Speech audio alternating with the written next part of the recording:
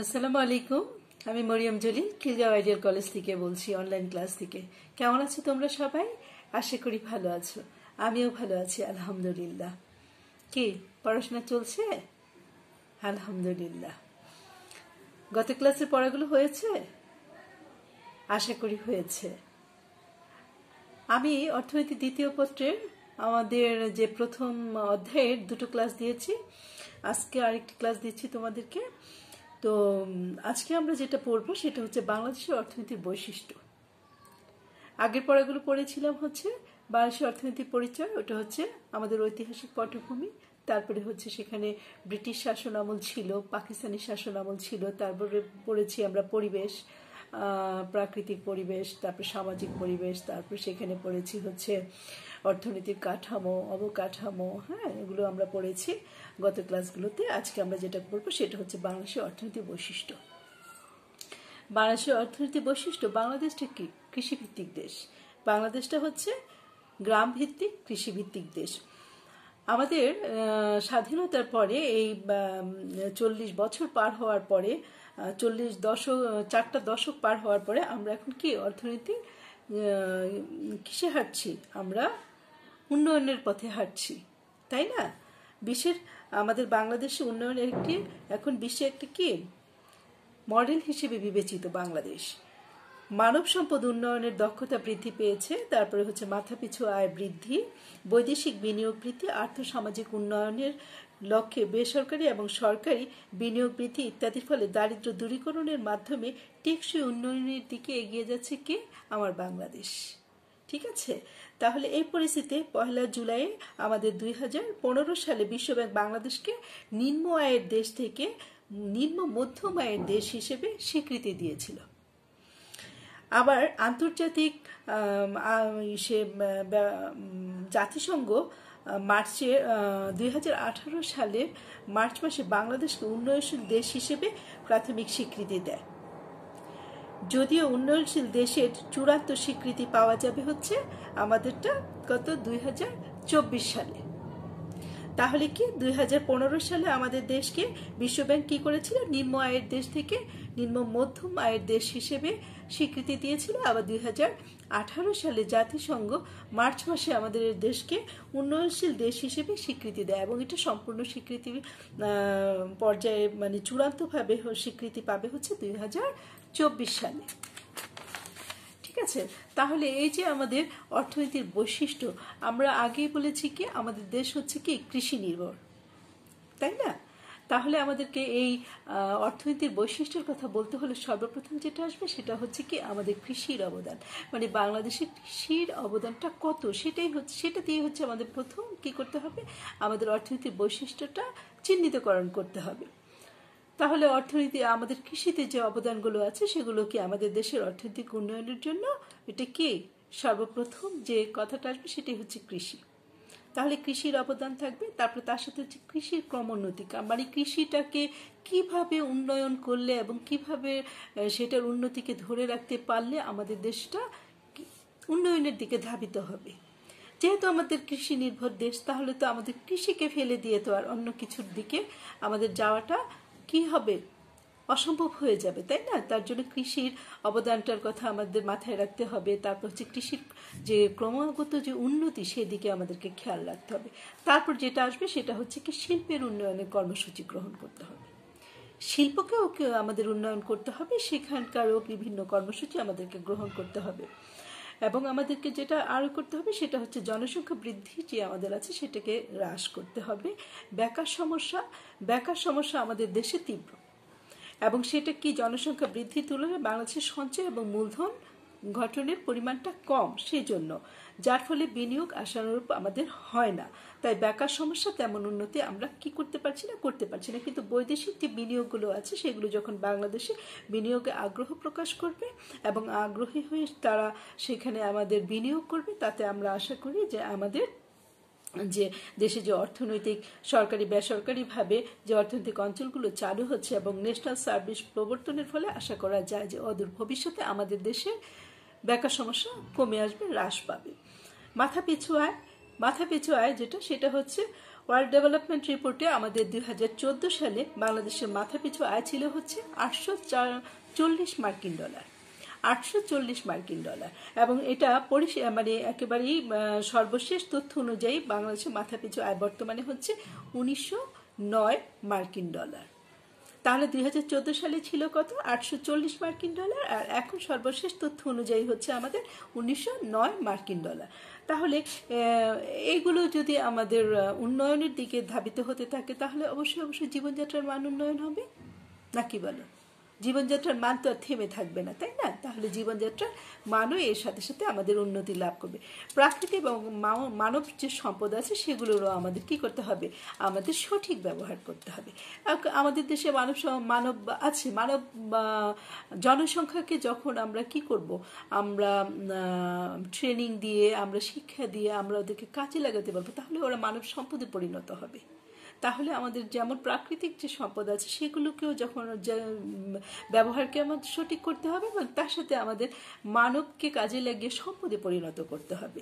তাহলে সে, সেভাবে আমাদের বিনিয়োগ যে যোগ্য প্রবাহ, সেগুলো পুঁজিগুলো বৃদ্ধি পাবে, খাদ্য সমস্যা এবং পুষ্টিহীনতা কমে আসবে যে যখন নাকি মানুষ ইয়ে সবার জন্য খাদ্য নিশ্চিত করার মাধ্যমে বাংলাদেশকে খাদ্য স্বয়ংসম্পূর্ণ করতে কৃষিখাতকে সর্বোচ্চ অগ্রিকার অগ্রাধিকার দিতে হবে এবং অধিক জনসংখ্যা কিছু কিন্তু সে তুলনায় কৃষি উৎপাদন কম হওয়ায় বাংলাদেশের খাদ্য এবং পুষ্টি ঘাটতি বিদ্যমান।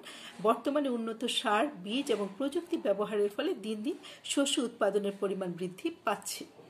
আমাদের যে যে সমস্যাগুলো আছে, সেই সমস্যাগুলোকে আমাদের কাটিয়ে ওঠার জন্য বিভিন্ন পদক্ষেপ গ্রহণ করতে হবে এবং সেই পদক্ষেপ অনুযায়ী আমাদেরকে কাজ করতে হবে। তারপর সেখানে হচ্ছে অর্থনৈতিক এবং সামাজিক অবকাঠামো। আমাদের বাংলাদেশের অর্থনৈতিক এবং সামাজিক অবকাঠামোর উন্নয়ন ধীরে ধীরে প্রসার লাভ করছে, যেটা আমরা গত ক্লাসেই পড়েছিলাম আমাদের একটা অর্থনৈতিক অবকাঠামো, আমাদের একটা অর্থনৈতিক কাঠামো আছে। সেখানে আমাদের তিনটা খাতের কথা বলা হয়েছিল। একটা হচ্ছে উৎপাদন খাত, তারপরে আরেকটা ছিল হচ্ছে আমাদের সেখানে সরকারি, বেসরকারি খাত ছিল আরেকটা। আরেকটা ছিল হচ্ছে আমাদের অঞ্চল ভিত্তিক খাত। তাহলে এগুলোকে আমাদের যদি উন্নয়ন করতে হয়, তাহলে আমাদেরকে কি করতে হবে? তাহলে অবকাঠামোগত উন্নয়ন করতে হবে। কোনো জিনিস তার এমনি এমনি তো উন্নয়ন হয়ে যায় না। একটা জিনিস তুমি বললে যে হ্যাঁ এই জিনিসটাকে আমার কি আমার ধরো আমার পড়ালেখা। আমার পড়ালেখার উন্নতি করতে হবে, আমাকে ভালো রেজাল্ট করতে হবে, এটা যদি আমি ভাবি। কিন্তু তার এটাই ধরো আমার কাঠামোগত উন্নয়ন এবং এটাকে আমার উন্নয়ন করার জন্য যে কাজগুলো করতে হবে, সেটা হচ্ছে অবকাঠামোগত উন্নয়ন। তাহলে কাঠামোগত উন্নয়নের সাথে সাথে আমাদের কি করতে হবে? অবকাঠামোগত উন্নয়নের দিকে আমাদের লক্ষ্য রাখতে হবে এবং সেভাবে আমাদেরকে উন্নতি করতে হবে। বৈদেশিক বাণিজ্য আছে, বৈদেশিক বাণিজ্যের সাহায্যের উপর নির্ভরশীলতা হ্যাঁ? শিক্ষার হার, সামাজিক কুসংস্কারতা, তারপরে কুসংস্কার, সামাজিক কুসংস্কার, তারপরে হচ্ছে কারিগরি জ্ঞানের প্রসার পরিকল্পনা, প্রাকৃতিক দুর্যোগ, দক্ষ উদ্যোক্তা সৃষ্টি বেসরকারীকরণ, এগুলো হচ্ছে, এগুলোর মাধ্যমে আমাদেরকে কি করতে হবে? আমাদের দেশে বাংলাদেশের অর্থনীতির বৈশিষ্ট্য এগুলো। এগুলোর মাধ্যমে একটি দেশ, এগুলো উন্নয়নের মাধ্যমে একটি দেশের উন্নয়ন হবে। তাহলে এই যে আমি অর্থনীতির এতক্ষণ বৈশিষ্ট্যগুলো বললাম, এখন এগুলোকে উন্নয়নের গতিধারা, বাংলাদেশের অর্থনীতির উন্নয়নের গতিধারা, এখন গতিধারা কি? তাহলে ওইগুলোর উন্নয়ন করলেই তো আমাদের দেশ উন্নতি হবে। আমি যে সেক্টরগুলোর কথা এতক্ষণ তোমাদের সাথে বললাম, সে প্রত্যেকটা সেক্টরের যদি উন্নয়ন ঘটে, তাহলে তো অবশ্যই অবশ্যই বাংলাদেশের অর্থনীতির উন্নয়নের গতি ধারাটা ত্বরান্বিত হবে। হবে না? হ্যাঁ তাহলে কি হচ্ছে? সে এখন হচ্ছে বাংলাদেশের অর্থনীতির উন্নয়নের গতিধারা। তাহলে তার মধ্যে আমাদের দেশের স্বাধীনতার স্বাধীনতা ঠিক পরপরই দেশের অর্থনীতি কেমন ছিল? স্বাধীনতার পরপর দেশের অর্থনীতিটা কেমন ছিল? এখানে বলা হচ্ছে উনিশশো বাহাত্তর সালে পঁচিশে সেপ্টেম্বর বিশ্বব্যাংক একটি রিপোর্ট করেছিল যা যা হলো সবচেয়ে ভালো পরিস্থিতিতে বাংলাদেশের উন্নয়ন সমস্যাটি অত্যন্ত জটিল। এখানকার মানুষ অত্যন্ত দরিদ্র, মাথাপিছু আয় পঞ্চাশ থেকে সত্তর ডলারের মধ্যে, যা গত বিশ বছরে বাড়েনি। জনসংখ্যার প্রবল আধিক্য এখানে প্রতি বর্গ কিলোমিটারে হচ্ছে এক হাজার চারশো মানুষ বাস করে। তাদের জীবনের আয়ুষ্কাল হচ্ছে অনেক কম এবং এখানে তা পঞ্চাশ বছরের নিচে এবং বেকারত্বের হার হচ্ছে পঁচিশ থেকে তিরিশ শতাংশের মধ্যে এবং জনগণ বড়ই, বড়টা জনগণের বড় একটা সংখ্যা আছে, সেটা হচ্ছে অশিক্ষিত। তাহলে এটা হচ্ছে, বলা হচ্ছে উনিশশো সালের একটা রিপোর্ট অনুযায়ী। তাহলে এই থেকে আমাদেরকে এই যে আমাদের দেশ উনিশশো বাহাত্তর সালে যেটা এখানে বলা হলো, তো এখান থেকে যখন আমাদেরকে কি করতে হবে, আমাদেরকে বেরিয়ে আসতে হয়েছে। আমাদেরকে অর্থনীতির যে আমি বৈশিষ্ট্যগুলো বললাম, এখানে প্রত্যেকটা সেক্টরে আমাদেরকে দক্ষতার কাজের দক্ষতা দিয়ে এবং পরিকল্পনা দিয়ে, সঠিক মূল্যায়ন দিয়ে, পর্যবেক্ষণ দিয়ে আমাদেরকে যে বের হয়ে আসতে হচ্ছে এবং বের হয়ে এসেছে বাংলাদেশ, সেটাই হচ্ছে বাংলাদেশের অর্থনীতির গতিধারা। সেখানে অর্থের সরবরাহ আছে, জনসংখ্যা আছে, শ্রমশক্তি কর্মসংস্থান আছে, কৃষি উৎপাদন, শিল্প উৎপাদন, তারপর অর্থনৈতিক খাত, সঞ্চয় বিনিয়োগ তারপরে হচ্ছে প্রকৃত প্রবৃদ্ধির হার, বিদ্যুৎ উৎপাদন, গ্যাস, জ্বালানি, তারপরে হচ্ছে বৈদেশিক নির্ভরশীলতা হ্রাস, দারিদ্র্যের মাত্রা। আগে আমি তোমাদেরকে বলেছি যে তোমরা প্রত্যেকটা জিনিস রিডিং ভালো করে পড়বে। তাহলে এই যে পয়েন্টসগুলো বলেছি, এগুলো তোমরা রিডিং ভালো করে পড়বে, তাহলে তোমরা আরও বেশি ভালো করে জানতে পারবে। তাহলে এই যে এখানে যে কথাগুলো বলা হচ্ছে, অর্থনৈতিক বৈশিষ্ট্য বলেছে অর্থনীতির গতিধারা অর্থনীতির গতিধারা, কীভাবে আমার দেশের অর্থনীতিটা চলছে, এবং সেটার সাথে সাথে যেটা চলে আসে সেটা হচ্ছে বৈশ্বিক পরিপ্রেক্ষিতে বাংলাদেশের অবস্থান এবং ভবিষ্যৎ সম্ভাবনা, কারণ কোনো দেশ তো একা থাকতে পারে না। তাই না? তুমি কি একা থাকতে পারো? আমি কি একা থাকতে পারি? তা কিন্তু পারি না, তাই না? ঠিক সেভাবেও কিন্তু একটা দেশ শুধু একাই উন্নয়ন করতে পারে না হ্যাঁ? তা, তার জন্য তার কি করতে হয়? পারিপার্শ্বিক অবস্থা বা অন্য কোনো দেশের সাথে তার সমন্বয় ঘটিয়ে হ্যাঁ? এই, তাদের সুবিধাগুলো গ্রহণ করা, আমাদের সুবিধাগুলো তারা গ্রহণ করা, এভাবে করে কিন্তু আদান প্রদানের মাধ্যমে কি হচ্ছে? বিশ্বের সবগুলো দেশই তাদের উন্নয়নের জন্য সেগুলোকে কি করছে? গ্রহণ করছে। ঠিক একইভাবে বৈশ্বিক পরিপ্রেক্ষিতেও বাংলাদেশের অবস্থানটা হচ্ছে তাই যে আমরা এখানে বৈশ্বিক যে পরিপ্রেক্ষিতে যেটা আছে সেটা হচ্ছে বর্তমান যুগ হচ্ছে বিশ্বায়নের যুগ। বর্তমান যুগটা কি? বিশ্বায়নের যুগ। বিশ্বায়ন হচ্ছে এমন একটি প্রক্রিয়া বা যা অধিক জনগণের মধ্যে অবার পারস্পরিক ক্রিয়া প্রতিক্রিয়ার দ্বারা মূলধন বাজারের সমন্বয়ে পণ্য এবং সেবার অবাধ লেনদেনকে বোঝায়। এর ফলে পৃথিবীব্যাপী অধিক বাজার, অধিক ব্যবসা এবং অধিক অর্থনীতির মধ্যে প্রযুক্তির মাধ্যমে যোগাযোগ ঘটে। ঠিক আছে? তাহলে কি হচ্ছে?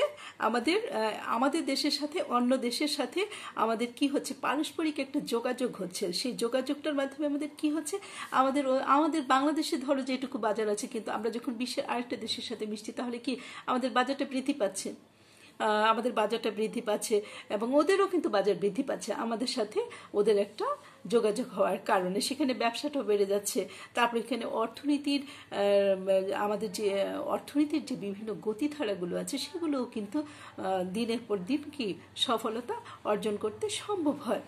ঠিক এক সেটার সাথে যেমন বিশ্বায়নে প্রকৃতপক্ষে বিশ্বব্যাপী বিভিন্ন দেশ এবং জাতি সমূহের মধ্যে আত্মনির্ভরশীলতা বোঝায় বিশ্বায়নটা হচ্ছে কি, একটা দেশের সাথে একটা দেশের সাথে যে একটা আত্মনির্ভরশীলতা, যে, ও আমার উপর নির্ভর করছে, আমি আরেকটা দেশের উপর নির্ভর করছি হ্যাঁ এভাবে করে হচ্ছে সমন্বয় ঘটিয়ে একটা উন্নয়নকে ত্বরান্বিত করা প্রত্যেকটা দেশের জন্য।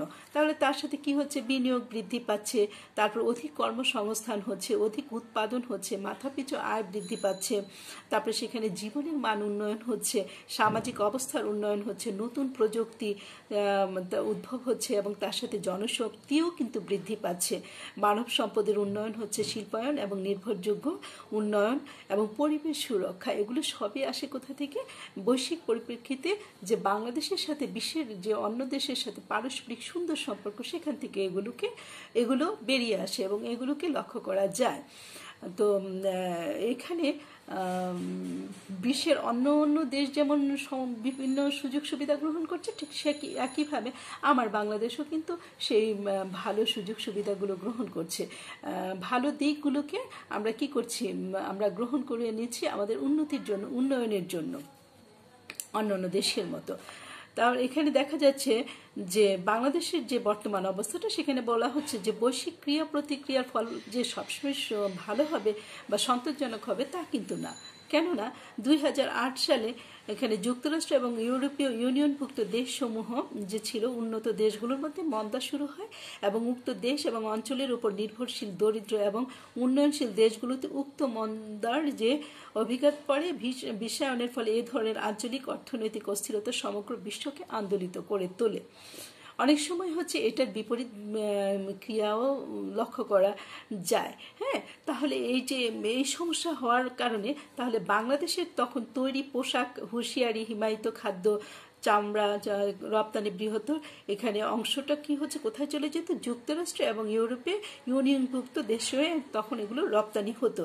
বিশ্বব্যাপী এই অর্থনৈতিক মন্দার সময়ে বাংলাদেশের কৃষিখাত শক্তিশালী ধারাবাহিক প্রবৃদ্ধি অর্জন করে এবং বিভিন্ন দেশ এবং অঞ্চলের সাথে অর্থনৈতিক জোট গঠন করে এবং ইউনিয়ন ইউরোপীয় ইউনিয়ন সহ দেশের বিভিন্ন দেশের সাথে এবং কোটা সুবিধা বিদ্যমান থাকায় পোশাক শিল্পের রপ্তানি, আয় সম্প্রসারণ উপযোগী আর্থিক এবং রাজস্ব নীতি বাস্তবায়নের ফলে রাজস্ব আদায়ের উচ্চ হার মুদ্রাস্ফীতিকে নিয়ন্ত্রণ রাখার চেষ্টা, উচ্চ বাজেট ব্যবস্থাপনা প্রণোদনা প্যাকেজ বাস্তবায়ন, তারপর রেমিটেন্স এবং এখানে শক্তিশালী অর্থনীতিকে তেমন ক্ষতিগ্রস্ত করতে পারে এবং অন্যান্য লক্ষ্য নতুন নতুন শ্রম বাজার অনুসন্ধান পদক্ষেপ গ্রহণ এবং বাস্তবায়ন প্রবৃত্তির কারণে বৈশ্বিক মন্দা বাংলাদেশের সামগ্রিক অর্থনীতিকে তেমন ক্ষতিগ্রস্ত করতে পারেনি। দেখো, এখানে দুই হাজার আট সালে ওখানে যুক্তরাষ্ট্র এবং ইউরোপের যে ইউনিয়নভুক্ত যে দেশগুলো ছিল, তাদের সমস্যার কারণে মন্দা তৈরি হলেও এখানে বাংলাদেশ সেখানে কি করছে সেই বাজারগুলোতে বাংলাদেশ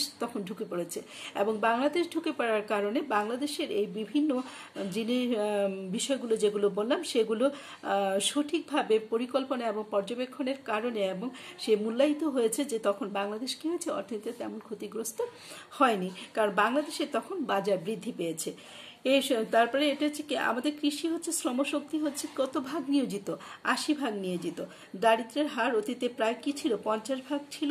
কিন্তু বর্তমানে কৃষিতে শ্রমশক্তি কি হচ্ছে হ্রাস পেয়ে সেটা কি হচ্ছে শিল্প এবং সেবা খাতে সেই শ্রমটা বৃদ্ধি পাচ্ছে এবং দারিদ্রের হার, আমাদের দেশে দারিদ্রের হারটা কি হচ্ছে পূর্বাপেক্ষা অনেক হ্রাস পেয়েছে এবং মাথা মাথা পিছু আয়টা আমাদের বৃদ্ধি পেয়েছে। মানুষের জীবনযাত্রার মান পূর্ব অপেক্ষা বৃদ্ধির ফলে গড় আয়ু বৃদ্ধি পেয়েছে।